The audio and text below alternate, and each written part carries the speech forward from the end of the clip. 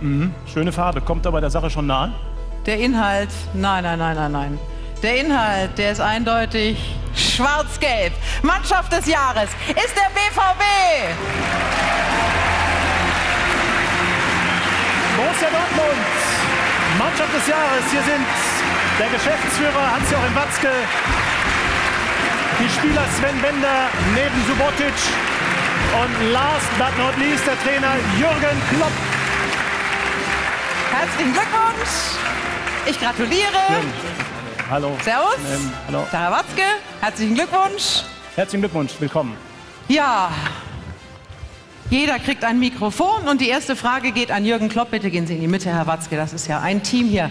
Äh, ja, Mannschaft des Jahres, das wird man nicht einfach so, da muss man schon eine Mannschaft sein.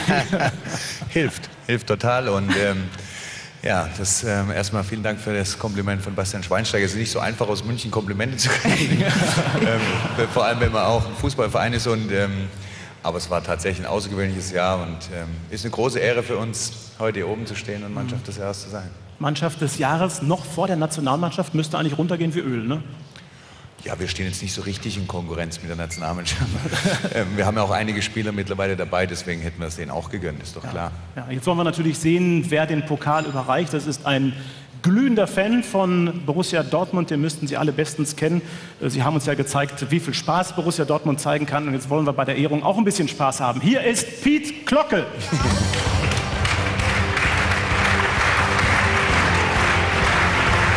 Hallo, guten Abend. Guten Abend. Äh, meine Damen und Herren, boah, ich bin aufgeregt. Äh, Sie kennen mich ja vielleicht als völlig entspannten Typen. Jetzt muss ich einfach ein bisschen hektisch werden, weil ich habe nur eine Minute für die Laudatio und da ist es ganz klar, deswegen werde ich auch vereinzelte Sätze nur zur Hälfte äh, sagen. Wenn das jemand nicht versteht, werde ich Ihnen morgen früh den Rest zufaxen, den einzelnen. Also, und das Zweite ist, warum ich so aufgeregt bin, weil ich hier mitten in meiner, ich bin seit gefühlten tausend Jahren Borussia Dortmund-Fan und deshalb, äh, ich bin ganz auf, ich habe, als ich das hörte, dass ich die Laudatio, da bin ich sofort auf die Decke, also an die Decke und habe gedacht, ich werde wahnsinnig. Und deswegen fühle ich mich auch äh, als äh, Vertreter aller Fans von Borussia Dortmund. Äh, ich rate auch allen Fußballbegeisterten von anderen Vereinen, äh, dass die mal in, nach Dortmund kommen ins Stadion, um da zu sehen, was da im Moment mit der Mannschaft und mit der Stimmung, da, die war schon immer großartig, aber bei dieser Mannschaft ist einfach, ich kann das nicht, da fliegen die Herzen der Fans aufs Spielfeld und die jungen Spieler, die spielen einen Fußball. Ich habe manchmal, wenn ich da war, drei Tage danach glänzende Augen. Es ist einfach großartig. Übrigens, ich muss mal Luft holen, weil ich ja permanent, ich wäre beinahe gar nicht hier dazu gekommen. Das wäre für die Minute natürlich noch besser gewesen, aber äh, weil ich hier ein bisschen außerhalb äh, von dem Ort habe ich drei Stunden auf einen Bus gewartet. Gut, ich gebe zu, da war gar keine Haltestelle. Aber mir geht es da ums Prinzip. So, jetzt aber genug geschwafelt.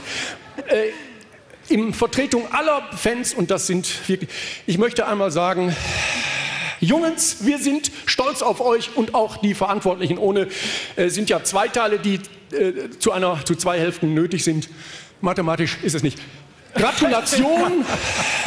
Ich gebe es mal dem lieben Herrn Bender. Bitte. Hui. Ah, super. Die Glocke. Sie haben selber schon Piet, erzählen Sie ganz kurz, Sie haben selber schon in Dortmund auf dem Rasen gestanden. Gegen wen haben Sie gespielt? Auf welcher Position? Äh, wir haben ja ein, ein Benefizspiel äh, nach eurer Feier, äh, hat Kagawa äh, für die Opfer in Japan. Und da durfte ich auch mal mitspielen und ich dachte, Menschenskinder, super Gelegenheit. Ich habe bei den Japanern, ich bin 1,94, äh, mitgespielt und ich hatte einen Block und Bleistift mit, hinter den Spitzen, weil ich so ein bisschen aussehe und spiele wie Sidan.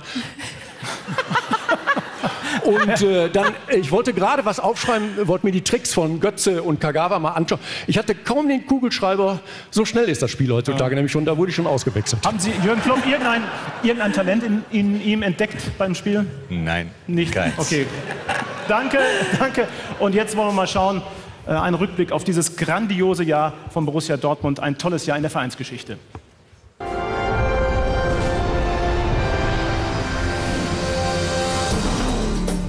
Meisterschaft im Visier. Neun Jahre nach dem letzten Titelgewinn. Borussia Dortmund wieder ganz groß. Mit der jüngsten Mannschaft aller Zeiten und dem Trainervulkan Jürgen Klopp. Die Helden in Schwarz-Gelb fliegen durch die Liga. Barrios, neunte Minute. Auch die Bayern in München chancenlos. Schein, das ist Meisterfußball. Der geniale Moment in einem Spiel, das doch sowieso schon auf Höchstniveau brodelt. Gala-Vorstellung der Dortmunder. Hummels, 3 zu 1. Der amtierende deutsche Meister bekommt hier eine meisterliche Lehrstunde. Der Rekordmeister nur Statist. Nichts scheint unmöglich, Dortmund auf der Überholspur.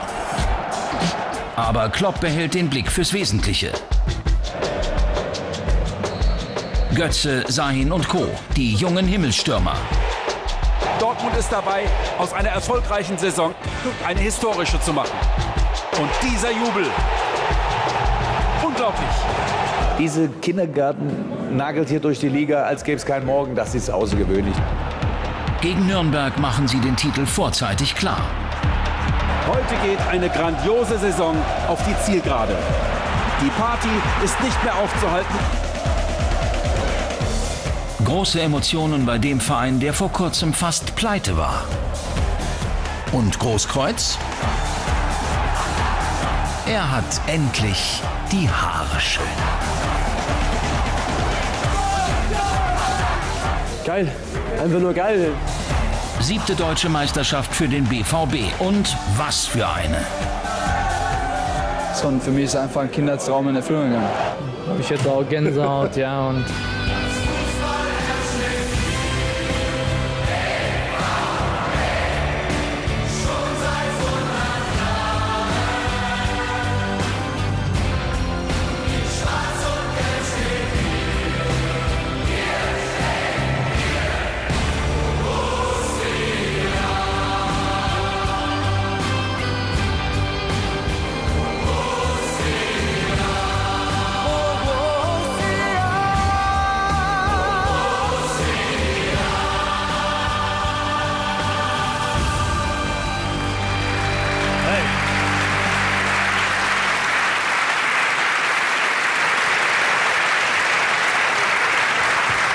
andächtig haben die vier, vier Herren hier oben nochmal auf diese Bilder geschaut und all diese Situation nochmal inhaliert. Da kommt natürlich auch bei Jürgen Klopp die Gänsehaut jederzeit wieder zurück. Ne?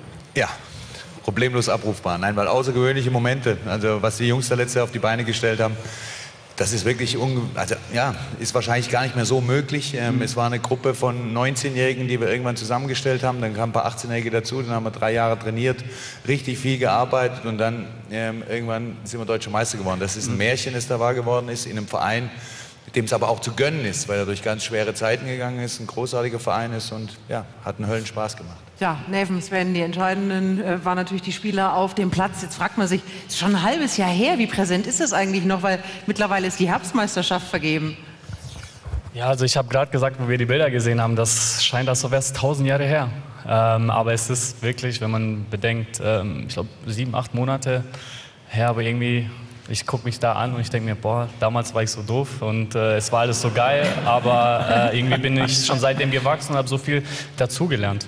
Ja, Sie haben sich beide in äh, der nächsten Saison dann äh, hintereinander verletzt. Auf der einen Seite dieser furchtbare Gesichtsbruch, der schlimm aussah. Hier, hier Kieferbruch. Sven, wie sieht's aus? Wieder fit zur Rückrunde?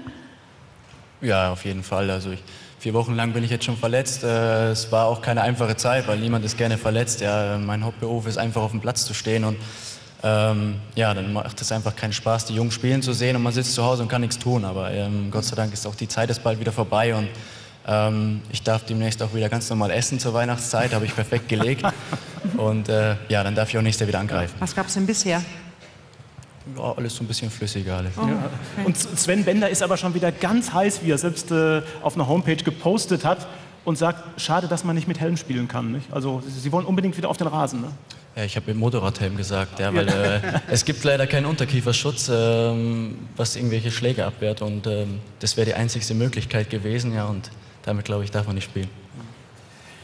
Ja, Jürgen Klopp, Sie haben gesagt, wir haben es gerade noch mal gehört, das ist ja so ein, wie so ein Kindergarten, wie der durch die Saison marschiert ist. Was ist der besondere Geist dieser Mannschaft? Ja, der hat sich ähm, entwickelt. Ähm, es ist, glaube ich, was wir letztes Jahr geschafft haben, wäre es tatsächlich nicht in jedem Verein möglich gewesen. Es gibt ein paar Vereine, wo das auch möglich gewesen wäre. Es gab einen gewissen Moment in der letzten Saison, da waren wir nicht mehr aufzuhalten. Da wussten wir es aber noch gar nicht, weil der Verein so eine Kraft ausstrahlt. Es sind so viele Fans in Deutschland von Borussia Dortmund und ähm, das hat uns richtig nach vorne gepeitscht. Also es war wirklich, es war die richtige Mannschaft im richtigen Moment, im richtigen Verein, zum richtigen Zeitpunkt, hat alles gepasst und ähm, nur so konnten wir das Ding ziehen. Und Herr Watzke, für Sie muss es ja auch eine besondere Genugtuung gewesen sein im Nachhinein. Es gab schwierige Zeiten, die Jürgen Klopp schon angesprochen hat. Der Verein stand mal eine Weile kurz vor der Pleite, dass Sie auf die jungen, günstigen Wilden gesetzt haben. Ja gut, das war natürlich äh, ein Ausfluss et etwa, aber wir wollten eigentlich ganz was anderes. Wir wollten mit einer jungen Mannschaft begeisternd Fußball spielen, lauf, laufintensiv Fußball spielen und jeder, der bei uns in Dortmund dann kommt, der soll das Gefühl haben, wir können dir keinen Sieg versprechen, wir können dir aber versprechen, dass diese Mannschaft alles raushaut, was sie hat. Und das haben wir eigentlich immer ganz gut hingekriegt. Ja, also ich glaube, zumindest der Trainer war auch schon mal ein Volltreffer. Herr Watzke, ich glaube, da würden Sie mir nicht widersprechen, wenn ich das heute Abend so sage. Deutlich schlechtere Entscheidungen haben wir schon getroffen. Ja, und es gab, ja, es gab aber auch in der vergangenen Saison ja so eine Art Pakt, wo Sie gesagt haben, wir wollen niemals auseinandergehen. Und dennoch ist dann einer von den Besten gegangen, Nuri Sahin. Und dem geht es jetzt in Spanien ehrlich gesagt auch nicht so wahnsinnig gut. Haben Sie Kontakt mit ihm? Ja, vor allen Dingen, ich glaube, dass äh, alle, vor allem die Spieler, auch sehr viel Kontakt zu ihm haben. Dass es eben Sven? Neven, habt ihr mal Ja, ich telefoniert? habe des Öfteren mit ihm Kontakt auf jeden Fall. Ähm, ja, wie es halt so ist, er kommt momentan nicht ganz so oft zum Zug. Jetzt kam er ein paar Mal rein und ähm, hat nicht seine besten Spiele gemacht, aber ne, es braucht natürlich auch seine Zeit. Man muss sich da eingewöhnen und äh, Nuri, jeder weiß, dass er ein guter Spieler ist und er wird sich auch da irgendwann zurechtfinden. Eine wunderbare Szene wollen wir gerne noch äh, zeigen. Daran ist äh, Nevin Subotic beteiligt. Das war nach dem Sieg gegen den Club, als alles klar war im vergangenen Jahr. Hat sich Nevin in ein Auto gesetzt und ist losgefahren. Und wir sehen ihn hier mit freiem Oberkörper, meine Damen und Herren. Den Spieler von Borussia Dortmund, der die Meisterschaft feiert. Wo war das, Nevin? Das war ungefähr eine Kilometer Luftlinie vom Stadion entfernt. Machen Sie das öfter? Jedes Mal, wenn wir Meister werden. Ja. Also gut. Im nächsten Jahr wieder? Also ich hoffe, ich werde so oft Meister wie möglich, weil diese Momente, also diesen Moment insbesondere, werde ich nie vergessen. Das war einfach irgendwas Spontanes. Und ähm, ich denke, die Bilder werde ich auch meinen Kindern zeigen, äh, wenn ich wieder ähm, ruhig bin, zu sagen, wie Papa irgendwann mal wild war. ähm, aber es war einfach ein, ein, ein Moment, den ich einfach nicht in Worte fassen kann. Ein wunderschönes Schlusswort, auch wenn es kein Wort mehr war. Herzlichen Dank noch einmal dem deutschen Meister der vergangenen Saison. Es war toll, dass Sie hier waren. Weiterhin viel Glück in der Saison. Ganz herzlichen Dank, Borussia Dortmund. Und am Dienstag spielen Sie live im ZDF bei Fortuna Düsseldorf. Das wollen wir auch noch erwähnen. Genau. Herzlichen Dank. Mannschaft des Jahres. Vielen Dank, alles Gute. Danke, Herr Watzke. Borussia Dortmund. So, sammle die. Vielen Dank fürs Kommen. Dankeschön noch einmal. Borussia Dortmund. So. Mannschaft des Jahres. Die Orientierung auf dem Platz ist Funktioniert exzellent. besser. Aber hast du was gemerkt? Nee, Zum Schluss folgen sie doch alle ganz brav dem Trainer.